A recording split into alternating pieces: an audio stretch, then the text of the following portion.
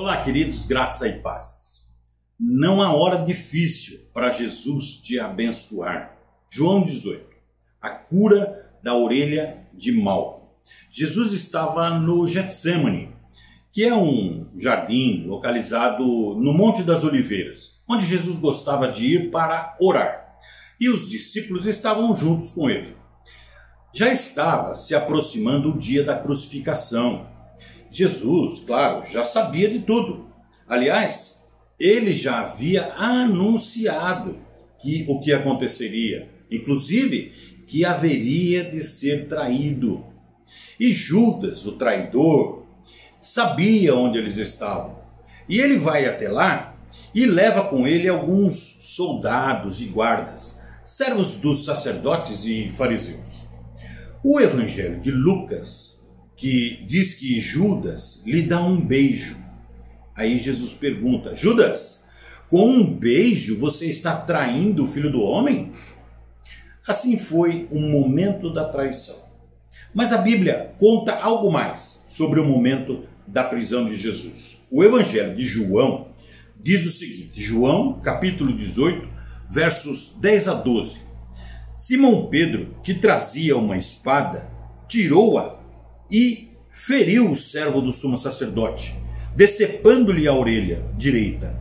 O nome daquele servo era Malco. Jesus, porém, ordenou a Pedro: guarde a espada. Acaso não haverei de beber o cálice que o Pai me deu? Assim, o destacamento de soldados, com o seu comandante e os guardas dos judeus, prenderam Jesus. Queridos irmãos, pense comigo.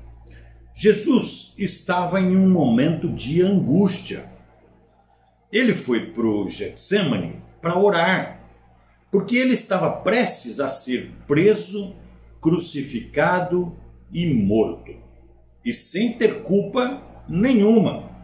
E precisamos lembrar que ele não desejou aquilo, ele mesmo disse isso ao Pai. Por isso ele estava angustiado. Aí ele vê Judas, que ele já sabia que era o traidor, vê os soldados e os guardas, e sabe lá mais quantos inimigos dele estavam chegando ali. Pedro, na melhor das suas intenções e dentro da limitação do seu entendimento, dá uma de protetor de Jesus. Pedro provoca uma confusão lá. Ele usa a espada. Eu penso que aquele era um momento, uma situação para Jesus pensar em si mesmo. Mas não. Ao invés de se poupar, Jesus vai e cura Malco. Irmãos, se em algum momento vier à tua cabeça um pensamento assim: ah, não é um bom momento para Jesus me abençoar, ou então Acho que o meu problema, a minha necessidade, não deve ser assim tão importante para que Jesus faça alguma coisa. Reformule o teu pensamento, a tua postura e volte a crer que Jesus quer te abençoar. É isso, ele quer te abençoar.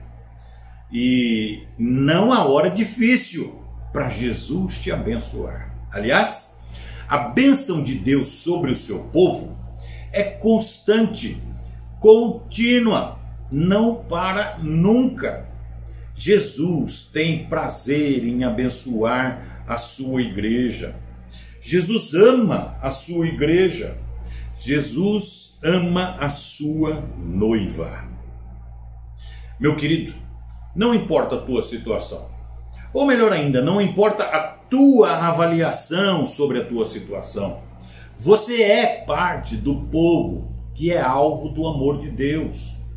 Jesus te ama e não há nada que ele não possa fazer por você.